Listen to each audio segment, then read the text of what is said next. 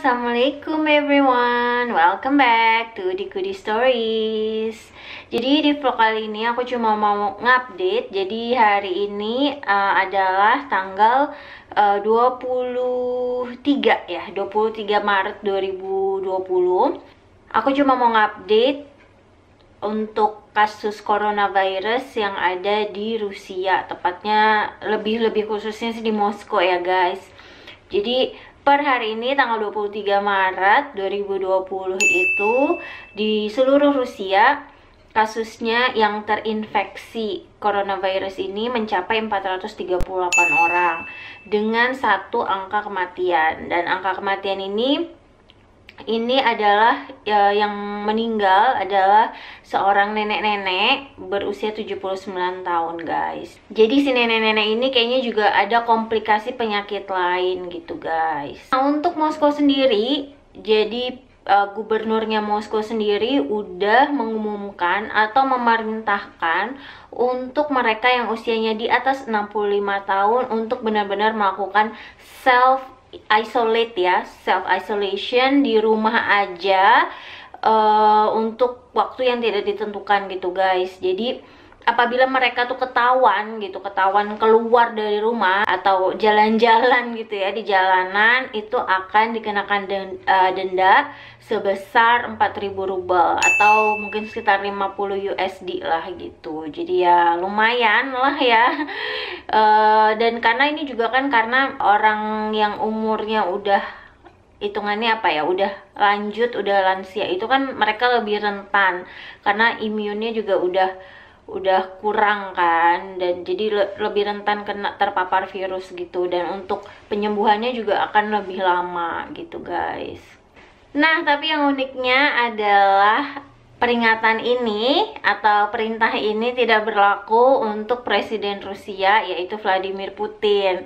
Karena Vladimir Putin itu kan umurnya juga udah 67 tahun ya guys. Tapi mungkin karena dia harus mengerjakan segala uh, ya pekerjaan yang memang harus dikerjakan apalagi dengan kasus ada kasus virus ini yang mewabah ini pasti kan keberadaannya diperlukan ya di Kremlin gitu. Jadi ya untuk dia pasti dengan pasti udah dengan prosedur pengawalan yang cukup ketat dan kebersihan juga kesehatan yang udah udah pasti levelnya udah top banget lah gitu. Jadi untuk khusus untuk Presiden Putin itu perintah ini tidak berlaku gitu guys. Untuk di kota Moskow sendiri uh, udah udah melakukan perubahan di tujuh rumah sakit yang akan nanti dijadikan sebagai rumah sakit khusus untuk menangani pasien corona gitu guys. Biasanya tujuh rumah sakit ini beroperasi sebagai rumah sakit umum pada pada biasanya gitu ya tapi semenjak ada kasus yang mewabah ini virus yang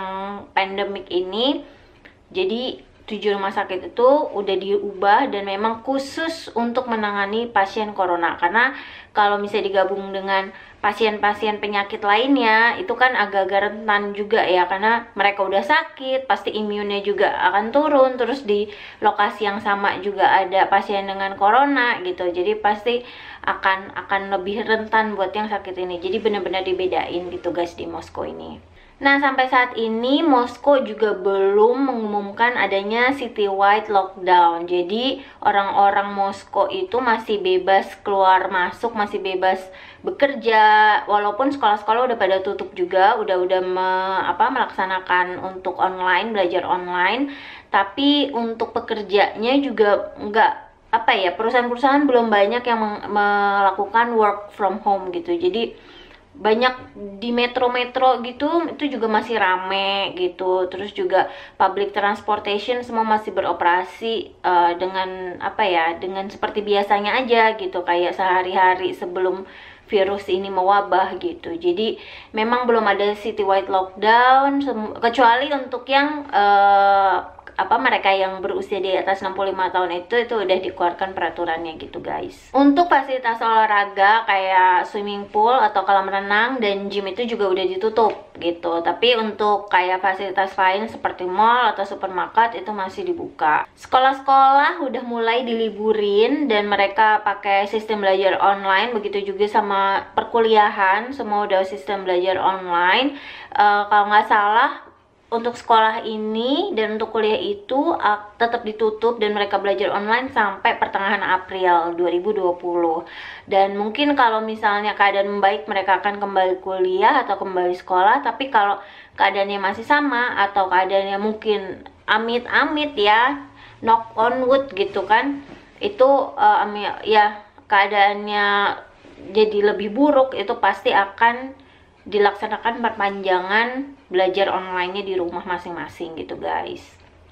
Nah, yang unik adalah pemerintah tuh juga meminta atau memerintahkan gitu ya untuk para narapidana yang masih ada di sel, yang masih ada di penjara itu untuk juga membantu memproduksi masker. Jadi mereka tuh di di apa ya, didayakan gitu untuk memproduksi masker dan beberapa kelengkapan yang uh, menunjang untuk untuk mengatasi coronavirus ini guys. Jadi mereka juga paling nggak uh, mempunyai andil gitu dalam dalam mengatasi coronavirus ini. At least mereka ada ada campur tangannya lah demi kebaikan gitu kan.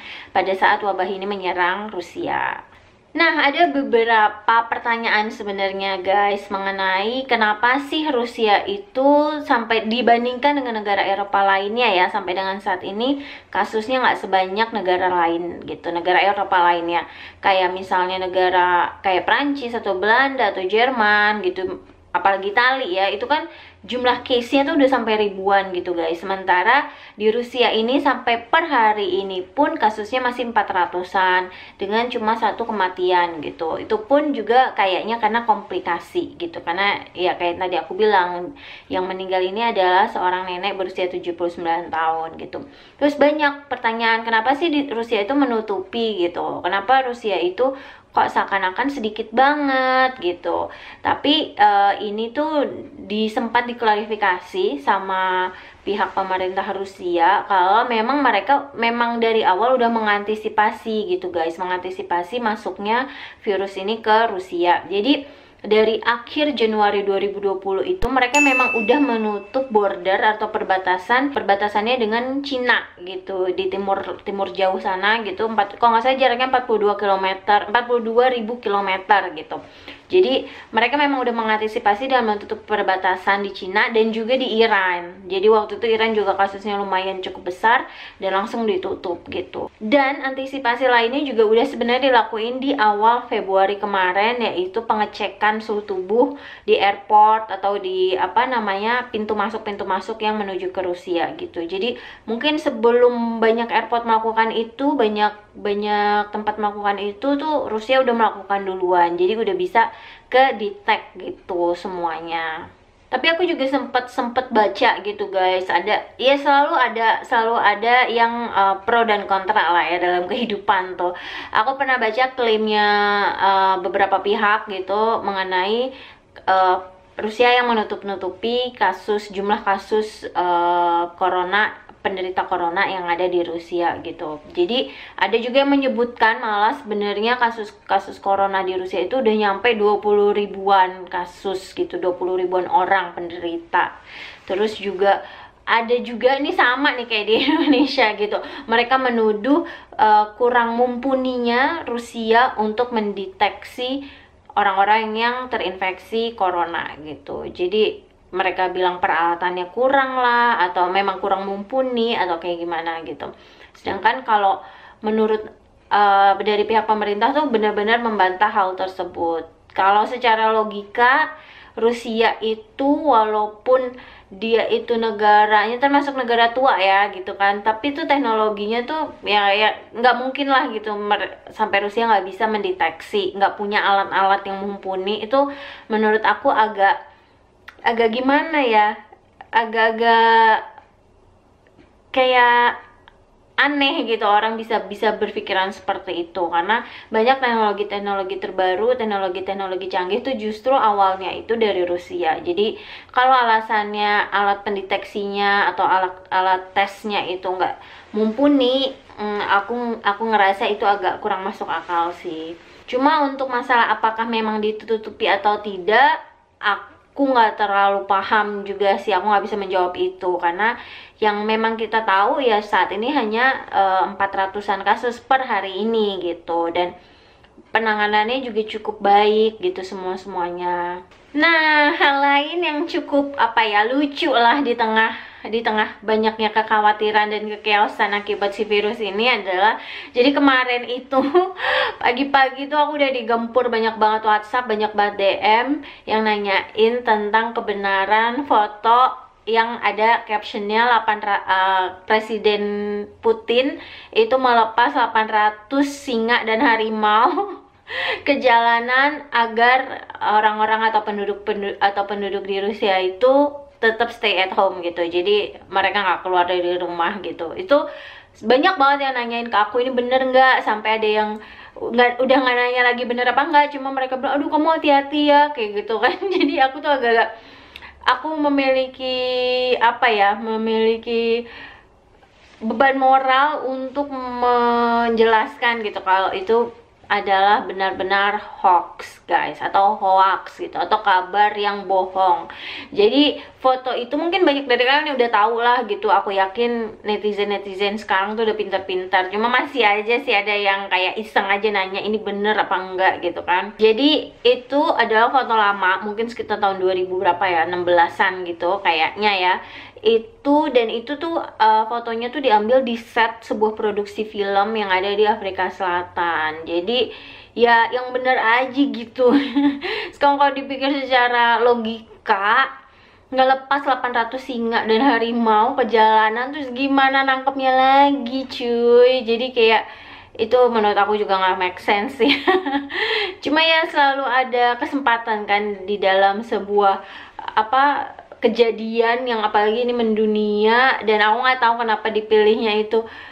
Diberitakannya tuh di Rusia mungkin karena Presiden Putin itu adalah salah satu pemimpin negara yang cukup tegas yang cukup berani mengambil banyak keputusan gitu. Jadi mungkin yang mungkin yang mungkin ya mungkin dalam tanda petik melakukan itu adalah Presiden Putin gitu. Dan itu cukup apa sih cukup bikin ketawa gitu. Ada juga bahkan teman aku dia juga tinggal di sini. Terus dia ditanyain banyak orang juga dong banyak keluarganya banyak teman-temannya di Indonesia yang nanya tentang kebenaran kasus itu. Dan dia cuma bilang iya benar. Gitu kayak udah males atau kayak ya udahlah emang benar gitu. Cuma kalau aku aku lebih lebih punya inilah beban moral lah buat buat mereka untuk meluruskan ini semua kalau sebenarnya kita baik-baik aja apalagi aku yang di Moskow uh, semua toko-toko juga masih pada buka, transportasi umum masih berjalan normal, orang bekerja pada umumnya, cuma sekolah aja yang diliburin gitu dan beberapa fasilitas kayak fasilitas sport itu juga udah ditutup gitu. Tapi everything is going well gitu sebenarnya masih kayak biasanya.